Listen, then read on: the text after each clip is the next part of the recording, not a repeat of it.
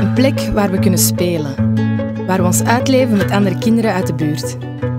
Spelen en daarvan leren, zonder het te weten.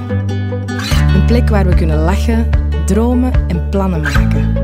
Een kattenkwaad uithalen, dat zeker. Waar we de tijd vergeten.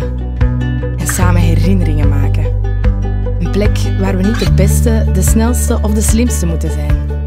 Maar gewoon mogen zijn. Helemaal onszelf.